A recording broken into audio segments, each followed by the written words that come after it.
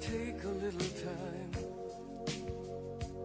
A little time to think things over.